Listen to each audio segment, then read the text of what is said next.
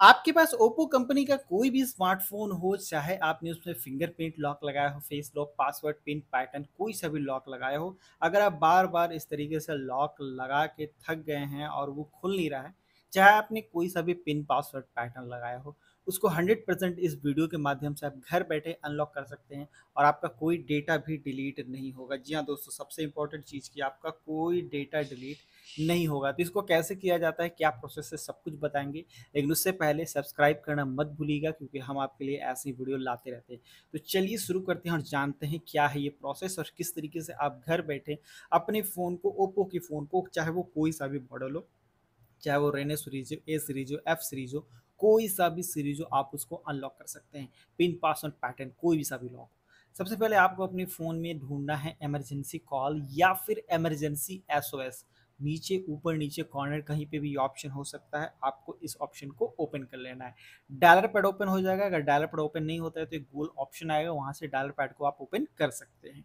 अब यहाँ पे आपको सबसे पहले एक नंबर डायल करना है। Star hash eight one two ध्यान से देखिए। Star hash eight one two और हैज़ को इस तरीके से अप्लाई करना है।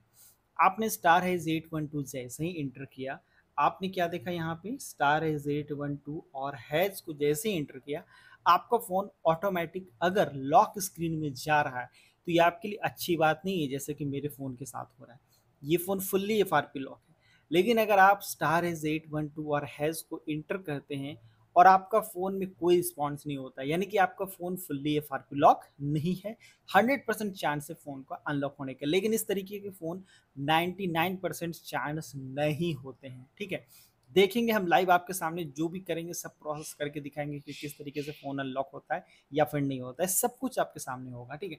अब देखिए, यहाँ पे हम वापस से एमरजेंसी कॉल पे जाके आप स्टार इज़ डबल नाइन ध्यान से देखिए स्टार इज़ डबल नाइन और हैज़ को इस तरीके से ओपन कर लीजिए। यहाँ पे आपके सामने एक पेज ओपन होगा इंजीनियर मोड या फिर इमरजेंसी एस ओ एस ये पेज ऑटोमेटिक आपके सामने आ जाएगा।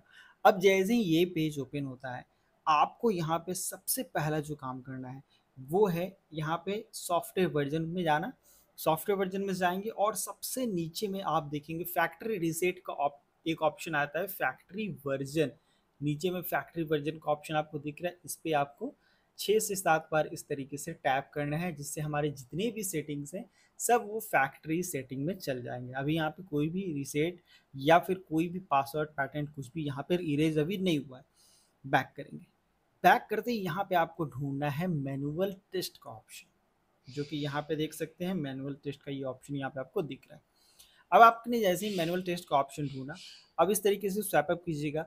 तो आपको यहाँ पे ढूंढना है सेंसर सेल्फ टेस्ट कैलिब्रेशन ये देखिए सेंसर सेल्फ टेस्ट कैलिब्रेशन का ऑप्शन आपको दिख रहा है। अब आपको इसी सेंसर वाले ऑप्शन पे टैप कर देना है। अब देखिए, हमारे फ़ोन में तीन सेंसर हैं। आपके फ़ोन में तीन भी हो सकते हैं, दो भी हो सकते हैं। एक तो बिल्कुल भी नहीं होता है। का मिनिमम जो है यहाँ पे दो होता है मैक्सिमम पाँच छः सात हो सकता है। तो सभी को आप इस तरीके से टैप करके स्टार्ट कर दीजिएगा। कोई एक सेंसर भी आपका अगर काम कर रहा हो एक सेंसर भी अगर आपका पास हो जाता है तो आप 100 परसेंट फ़ोन को अनलॉक कर पाएँगे। लेकिन अगर सारा सेंसर आपका फेल हो जा रहा है तो क्या करेंगे? यहाँ पे इस तरीके से टैप करेंगे, वापस से ट्राई करेंगे।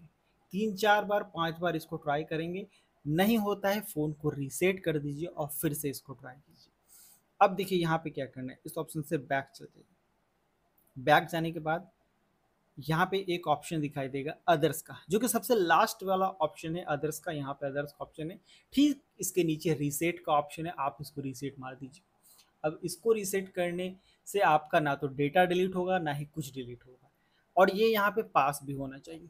ठीक है सेम प्रोसेस आप कीजिए, जैसा मैं आपको बता रहा हूँ, वैसे ही कीजिएगा, वो हंड्रेड परसेंट आप सक्सेस होइएगा, ऐसा नहीं है, ठीक है ना?